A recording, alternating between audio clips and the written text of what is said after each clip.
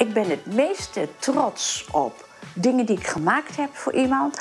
En dat ze dan helemaal blij zijn. En dat ze bijna soms in tranen uitbarsten van, van blijdschap. Dus dat is het mooiste compliment. Atelier Sophia heb ik opgericht omdat Sophia houdt van kunst.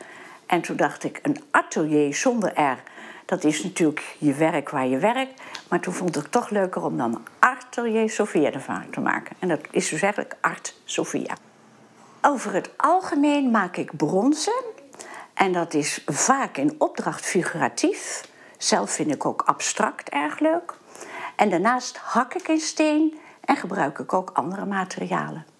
Het mooie aan brons is eigenlijk dat het zulk mooi materiaal is. En dan denk ik toch, ja, als je iets moois maakt, dan is het toch wel zonde als het dan niet meer bestaat daarna. Normaal, als ik een beeld maak, begin ik met een koperen draad. Die geef ik al helemaal aan zoals het beeld moet worden. En dan ga ik een was opzetten.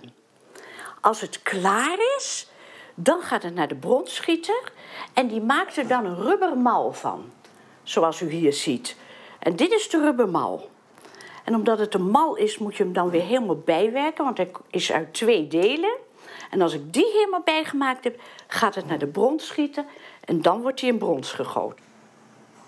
Het allerleukste van mijn werk is toch de uitdaging. De uitdaging om iets te moeten maken waar ik in eerste instantie nog niet weet wat ik precies wil. En dan gaat het groeien.